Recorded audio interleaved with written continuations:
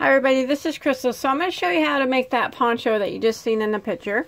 Um, it's the one size fits most poncho and it's a scrap yarn poncho. So if you got a lot of scraps laying around, this would be a good um, project for you. But you don't have to make it with scraps. You can make it like a solid collar if you want. It's going to be pretty no matter what. Now this is a great beginner project. It's really, really easy. So if you're fairly new to crochet and you know the basic stitches like single and double, you'll be able to make this poncho. So what I used is scraps. I used all the scraps of Red Heart Super Saver that I had. And it is a 4-ply 100% acrylic, medium weight. Now, you can use scraps of all different, if you want to use uh, acrylic and cotton mixed, uh, fur yarn, whatever you have. Make it unique to your own, or just make it any solid color. What, you know, however you want to do it. But um, I can't give you exact amount of yarn that you're going to need since I did use scraps. But I'm going to guess, and this is a guess, with the fringe, if you want to add the fringe, is going to be probably in the range of 12 to 1500 yards. So uh, I also use a size J, which is a 6 millimeter crochet hook.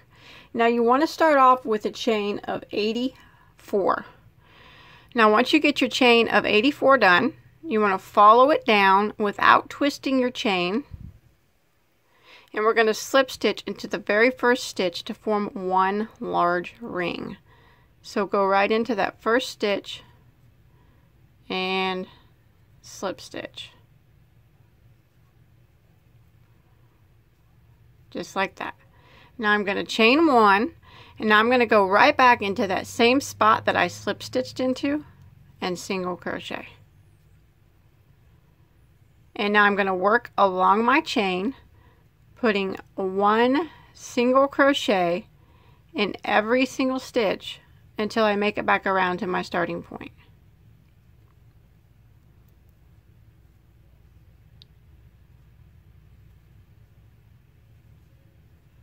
Just like this one single in every stitch until you get back to the beginning. And when you get back to the beginning, you should have a total of 84 single crochets. That does not count that chain one we did. Just 84 single crochets when you get back around. Okay, once you make it back around, at the end of round one and you counted and you have 84 stitches, not counting that chain one, what you want to do is slip stitch into your first single crochet. Not the chain one, but the first single crochet. So go ahead and slip stitch into that. And I'm going to tie this off. When I do color changes, I always tie off. Now, if you've been taught not to tie off, you can just color change here. However, uh, you've been taught to do or if you're making it one solid color, you don't even need to tie off here. But I'm going to tie off here, just like that. And now I'm going to start a new color. Let me grab one here. And I'm going to start into that same spot that I just slip I just slip stitched into and tied off. Now this is a four point poncho. There's going to be two points in the front and two points along two, one point in the front and one point in the back, I'm sorry, and one point along each arm. Now, the point in the front and the point in the back are going to be sharper. And what I mean by that is they're going to come down more out of at an angle than the ones on the side. So I'll show you how we're going to do that. So go ahead and start your yarn into that very first stitch and chain one. That stitch that we just slip stitched into. Now we're going to work in that same stitch, we're going to work two double crochets. So there's one, two, and then we're going to chain two, and then we're going to go back into the same stitch and work two more double crochets. So that is going to be our first. And it's going to be either one, it's going to be the sharp point, one that's going to be on the front or the back.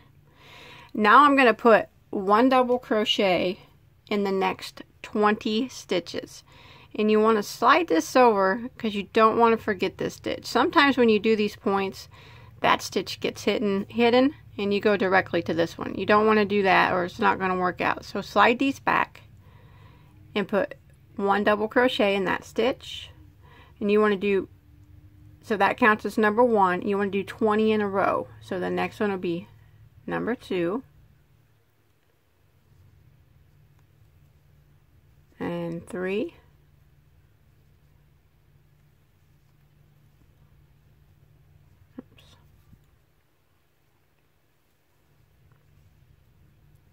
Four. Five. Six, seven. Okay, so I've done 20 double crochets in a row, and that's not counting this uh, first point here. So there's 20 there.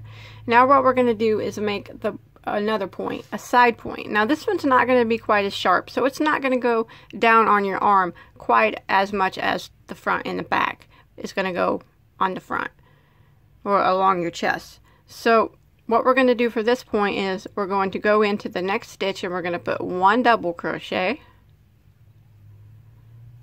a chain one chain two I'm sorry and one more double crochet. So that's the side points. So the front and back points are two double crochet chain two two double crochet in the same stitch. And the two side ones are one double crochet chain two one double crochet in the same stitch.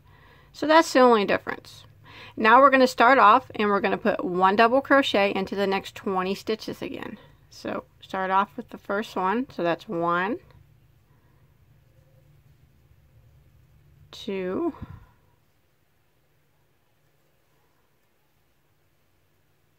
three,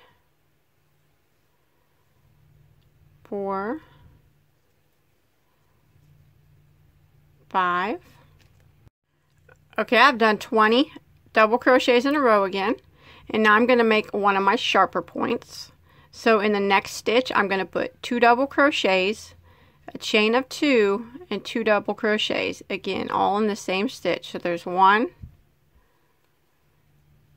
two and then I'm going to chain two and put two more double crochets into that stitch. Just like that. Now again, I'm going to put one double crochet into the next 20 stitches. Remember to pull this back so you get the, you get the right one. Don't want to miss it. So one double crochet into the next 20 stitches. There's one, two, three, four, five. Okay, I did my 20 uh, double crochets in a row again, and now I'm going to do the side point. So in the next stitch, it's just going to be one double crochet, a chain of two, and then another double crochet into that same stitch. Now you should have 20 stitches that remain. Go ahead and put one double crochet in the remaining 20 stitches.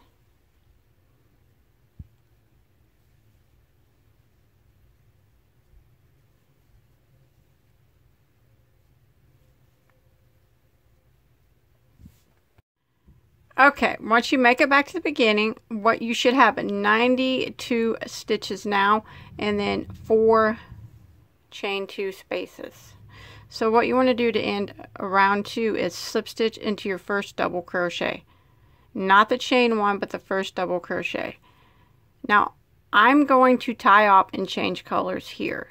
Now, if you're doing it solid, what you'd want to do is slip stitch until you get to your chain two space. So you'd slip stitch there, slip stitch one more time and then you'd slip stitch into your chain two space but since I'm doing mine a different color every row I'm going to tie off here and I'm going to start a new color.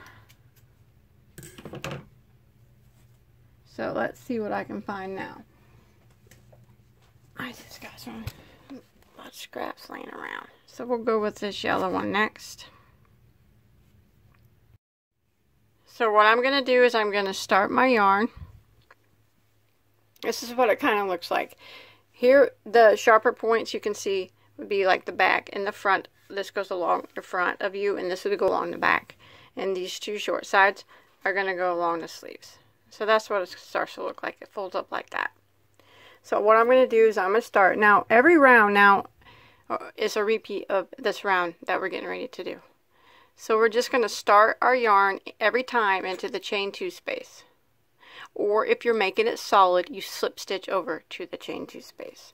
So I'm just going to start my next color. And I'm going to chain one every time.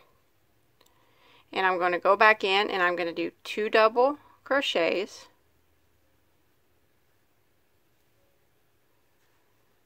A chain of two and two more doubles. So I'm putting that sharper point right here at the beginning every time. And now I'm going to work one double crochet in every single stitch until I get to my next chain two space. So make sure you're getting this very first one. Sometimes he hides, sometimes he doesn't. But one double in every stitch until you get to your next chain two space.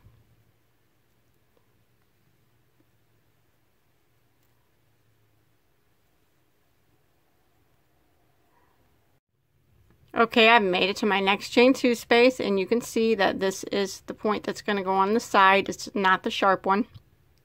So it's just going to be right through the chain two space, one double, a chain two, and then another double. Just like that.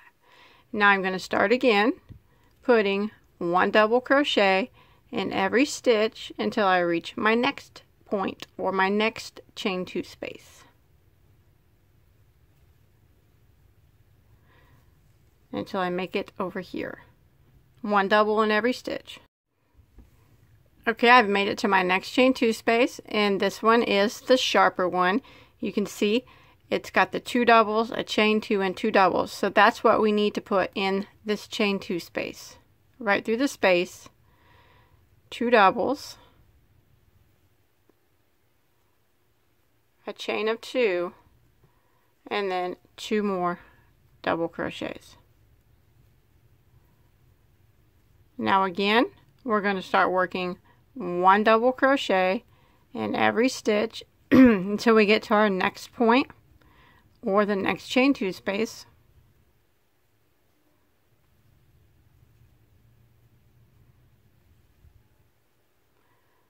One double all the way till we get over to here. Okay, I've made it to my next point and this is just the side point. It's not very sharp so it's it's the one double, chain two, one double. So that's what we need to put in this space.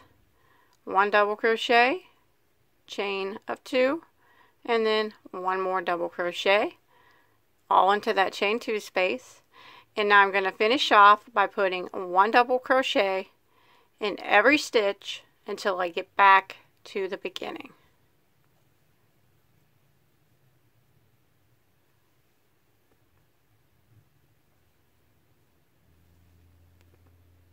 Oops.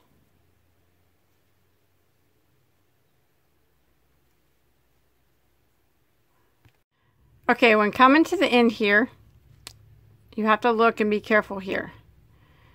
You have to make sure you get these two stitches, that you put your double crochet in these two stitches. Sometimes they're hard to see, but right here, it's where you uh, slip stitched and ended the round before.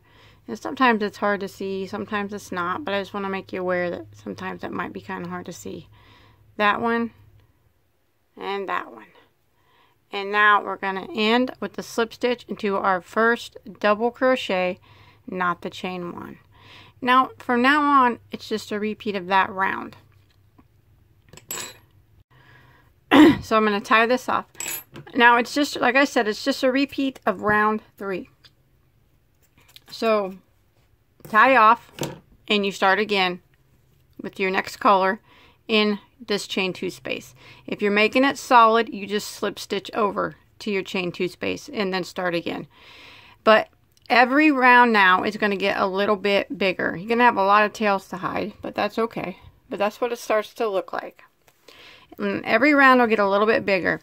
At the end of each round, you'll have 12 more stitches than you did the round before. So we have we had um 92 on round 2. Round 3 we have 104. And then the next one will have 12 more. And then the next one 12 more than that. So it's always 12 more than the round before. And you can make this as long as you want your poncho to be. Okay I went ahead and did counting this very first row of single crochet I did 24 rows altogether so all the way down so this was number one two three four all the way down to 24 now you can make the length as long as you want that's completely up to you you can make it longer if you wish but now I'm going to go around the neck here with a row of single crochet just to clean it up. So I got the back side of my work facing me. Now you remember where we put uh, two double crochets, a chain two and two double crochets. That's the front and the back points. So this is where I started earlier. This is the back facing me with the point that's a little sharper than one we talked about right here. So what I'm going to do is just start in any one of these single crochets up here. Doesn't matter which one. Just somewhere around the back so it seems not so visible, you know, when you're wearing it. And I'm going to start my yarn by chaining one. And then I'm going to go back into that same stitch and single crochet. And now I'm going to do is work around putting one single crochet in every single stitch until I get back around to the beginning.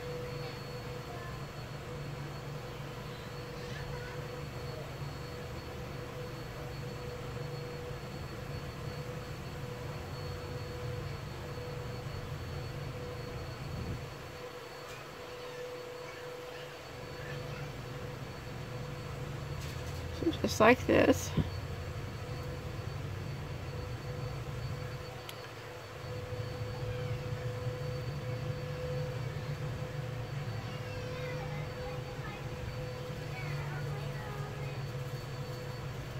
And all this is doing is just cleaning up that top edge there around the neck so it don't look unfinished.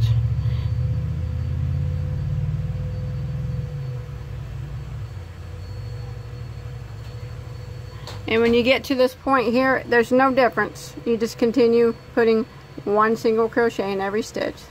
Don't go down into the point or anything, just work right around and put one single crochet in every stitch of that first row that we did. This first row of single crochet. And I'm going to do that until I get all the way back around to where I started. All the way back around to here okay when you make it back around to the beginning you should have a total of 84 single crochets if you don't have that number, you know, as long as it's somewhere close to that, don't worry about it. It's not that big of a deal. It does not have to be perfect. So once you make it back around, you want to slip stitch into your first single crochet. Not this chain one here, but this first single crochet. Just go ahead and slip stitch into it. And then pull your yarn and then we'll tie that off and clip our yarn. And that's it. Now, if you want to add fringe, I can show you how to do that. I added fringe on mine. Now, I know some people don't like fringe, so if you want to be done now, that's completely up to you. Or, you know, you could add uh, tassels or pom-poms or, you know, something like that. You know, be, you could be creative however you want to do it. But I'll show you how I went ahead and added some fringe. So, what I did was, Okay, what I did was I just used all the colors that I used in my poncho. And I cut off pieces that were approximately two feet long. Now you can make your fringe longer or shorter. I mean, I trimmed mine up a bit too when I was done. But what I did is I used three pieces, no particular colors. I just, any three colors. And then what you do to add the fringe is you take your three pieces and you go through a stitch at the bottom here and pull them through like that and drop it your hook and grab it with your fingers. Now make sure these down here are equal down here in length. They're pretty close like that. And now all you do is take them and pull them through your big hoop and pull them tight like that. And then I know they're really long and you can trim them up as desired. I left mine a little longer but I know you can do yours however short or however long you want. So and then I skipped one stitch and then I worked into the next one. So I'll do it again. Stick your hook up from underneath and then pull your yarn all three pieces from the top of your work. This is the top of my work down. And then drop your hook and grab your loop here. And then make sure your ends are equal in length or pretty close. And then you just pull them all through like that. And then pull it tight. Just like that. And then when you, I do that every other stitch and then, and, and then all four corners or all four points. That's how I did it. Now, some people maybe want to skip a lot more in between. Maybe they want to skip five or, you know, whatever. Maybe you want to put um, eight pieces of yarn and make real thick or real thick fringes. It's completely up to you. I was just showing you how how I did it. So, and then when I was done, I trimmed it up a bit. Uh, probably to trimmed it maybe to down to about 12 inches or so. Um, I got them all equal length, so that's how I do the fringe. But other than that, after you get all your tails hidden, that's it. It's actually a really, really easy poncho. It's good for beginners. And it's a one size fits most, so I think I said that in the beginning. But that's it. Um, please don't forget to, I still got some more fringe to do, the back side, but please don't forget to uh, like and subscribe to my channel. Um, don't forget to check out all my other tutorials too. I have hundreds and hundreds of tutorials. Um, something for everybody. Beginner, intermediate, advanced. You'll find something for you. Um, um, don't forget to check me out on Facebook too if you make anything. Um, I'd love to see a picture of it. That's where you can post a picture on my Facebook page. I'll put a link to that below in the description box. Um, also, you can check me out on Instagram, see what I got going on there. So I'll put links to all that stuff below. And until next time, have a good day.